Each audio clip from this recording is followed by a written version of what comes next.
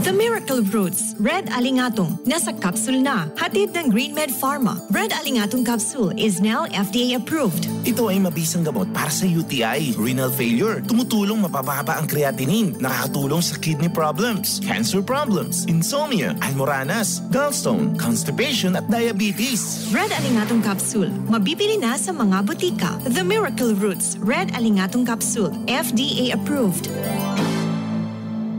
And available now sa lahat ng butika ang Red Alingatong uh, capsule. So check it out. Available in the Subic Bay Freeport area, Olongapo, Bataan, and Zambales. All right, time once again for me to uh, give you this invite. This invitation coming from uh, our friends at the SBMA Tourism. From all of us here at the SBMA, we're inviting all of you to spend your uh, Holy Week here at the Subic Bay Freeport. Check out the uh, Holy Week celebration happening March 24 up until 31. Uh, the uh, final week, yung pinaka last week ito no ng uh, March ang uh, Holy Week celebration uh, starting up with the uh, Palm Sunday on March 24. Also will be featured is the reenactment of the entry of Jesus Christ to Jerusalem. First Holy Mass, Second Holy Mass, and Third Holy Mass. Okay? And then Holy Monday, March 25, uh, the pabasa chanting of the uh, life and passion and death of Jesus Christ. Holy Wednesday, March 27, Novena Mass procession.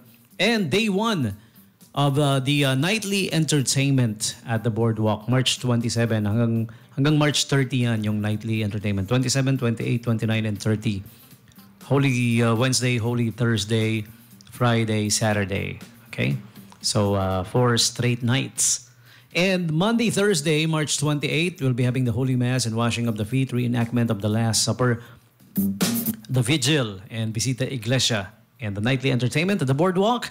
Good Friday, March 29, private stations of the cross, liturgy of the word, veneration of the cross, and the grand procession, the traditional grand procession. That's going to be at 6 p.m., okay?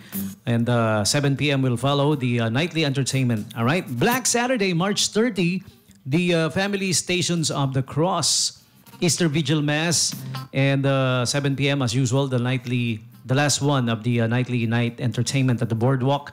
And then Easter Sunday, last day of the Holy Week, uh, Salubong, the traditional Salubong, 4 a.m., First Holy Mass, 5 a.m., and uh, the uh, Holy Mass, 6, 9, 10.30, and 5 p.m. Okay?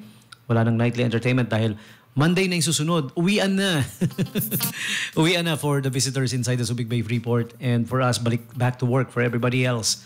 Okay? So that's the uh, Holy Week schedule for you. We're inviting all of you. You're all uh, welcome to join. All right? So uh, please do join us here at the Subic Bay Freeport Zone para sa ating uh, Holy Week celebration. Okay?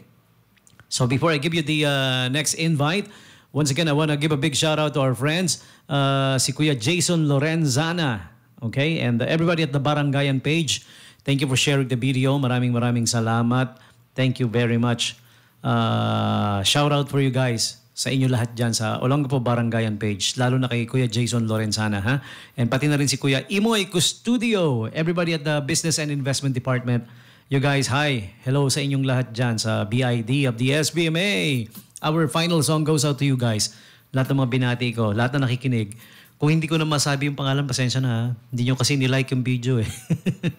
like nyo para makita ko yung names nyo. okay? Basta yung mga nakikinig, alam ko marami kayo. Yeah, all right. Thank you for tuning in. Thank you so much. Okay? And before that, of course, the invite, final invites for you guys coming from our friends at SM City, Olongapo Central and SM City Olongapo Downtown. Uh, here's the uh, lineup lineup of uh, the oh no, not the lineup. The Holy Week schedule muna. uh, since I mentioned to you guys the uh, Holy Week activities that we have here. Ito naman yung Holy Week mall hours of SM City Olongapo Downtown and SM City Olongapo Central. Pareho lang naman. Holy Week mall hours uh, except for supermarket, iba pa yung sa supermarket schedule. I'm gonna tell you that. Okay? Pero ito muna, Holy Week mall hours March 25 to 27, 10 a.m. to 9 p.m both for uh, SM Olongapo Downtown and SM City Olongapo Central. Okay? Pareho. And uh, March 28 to 29, Monday, Thursday, and Good Friday, close muna sila, sarado. Ha? Huh? Alright? And then March 30 and 31, Black Saturday and Easter Sunday, 10 a.m. to 9 p.m. p.m. Okay? Now, for the uh, supermarket schedule, iba pa yung sa supermarket. Uh, the supermarket schedule, uh, Monday, Thursday, and Good Friday, 9 a.m. to 6 p.m. for SM Downtown. Okay? 9 a.m. to uh, 6 p.m. For uh, SM uh, Central naman, the supermarket, Monday, Thursday lang, 9 a.m. to 6 p.m. Sarado ng uh, the rest of the days, okay? Yung, uh, uh, I mean, uh, sa Good Friday, sarado, okay? So, Monday, Thursday lang for SM Central ang supermarket, 9 a.m. to 6 p.m., okay? And lastly, the lineup of movies for you. Uh, here's what's showing, okay? Para sa SM City Olongapo Central and SM City Olongapo Downtown Cinemas. The schedule of uh, movies, okay?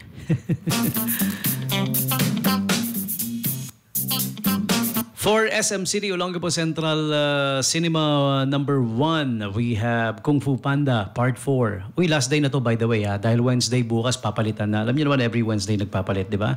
Cinema 2 Spy X. Cinema 3, 3 Days, 2 Nights in Poblacion. Cinema 4 Isarn Zombie and Our Season. Cinema 5 Bob Marlett, One Love. Cinema 6 Layas. Layas John. and Hellhound at Cinema 6. And uh, Cinema SM City, Cinema Downtown, Cinema 1 Kung Fu Panda, Cinema 2 Three Days and Two Nights, Cinema 3 Spy X Family Code. Okay? That's the uh, that's what's showing at SM Cinemas Central and Downtown, okay?